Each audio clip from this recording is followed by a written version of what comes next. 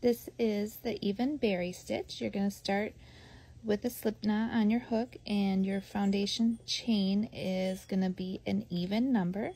So I'm going to go ahead and chain 12. I have my 12 chains. Now we're going to work um, a single crochet into the second chain from hook. Remember the slip knot on your hook does not count as a stitch. This is our first chain. This is our second. So we're going to go ahead and work a single crochet into that second chain from hook. And then we want to work a single crochet into each stitch all the way across. So I will see you back when I complete that. I've completed my single crochets across. Now I'm going to turn my work and chain one.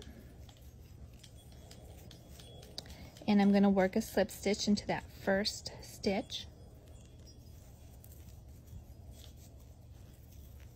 And now I'm going to work my berry stitch. So to do our berry stitch, we're going to yarn over, insert our hook into that stitch, yarn over, bring that through. We're going to yarn over again and go through the first loop only. And then we're going to yarn over again and go back into that same stitch. And we're going to yarn over again. And now we have five loops on our hook. We're going to yarn over and go through all five loops. And that's our berry stitch. So we'll repeat that again. So we're going to slip stitch into the next stitch. And then we're going to work a berry stitch into the next one. So remember, it's yarn over, insert your hook into that stitch, yarn over, bring that through, yarn over, and go through one loop only, yarn over, insert your hook into that same stitch, yarn over, bring that through. You have five loops on your hook, yarn over and go through all five loops and that's your berry stitch. And then you're going to slip stitch into the next one. And you're going to repeat that to the end. So you're going to do a berry slip stitch berry slip stitch and you should end with a slip stitch.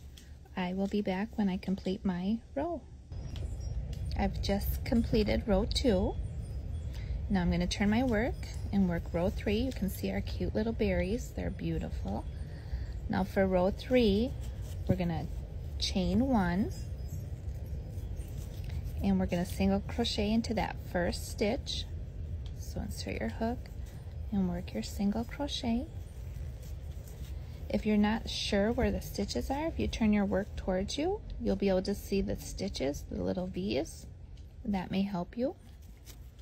So we just did a single crochet. Now we're gonna go ahead and work a slip stitch into the next stitch, which is the top of our berry.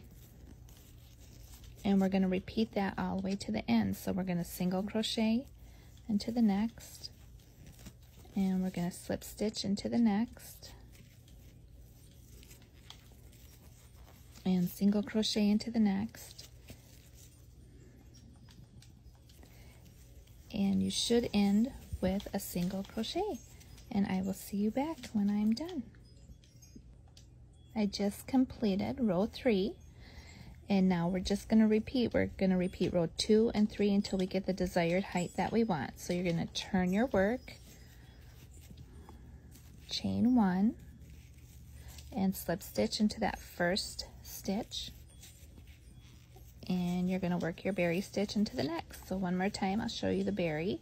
Yarn over, insert your hook into that stitch, yarn over, bring that through, yarn over, go through one loop only, yarn over, insert your hook into that same stitch, yarn over, bring that through, and then yarn over and go through all five loops, and then slip stitch into the next. And then you just repeat that, row two and three, and then you'll have a cute little berry stitch. Thanks for watching.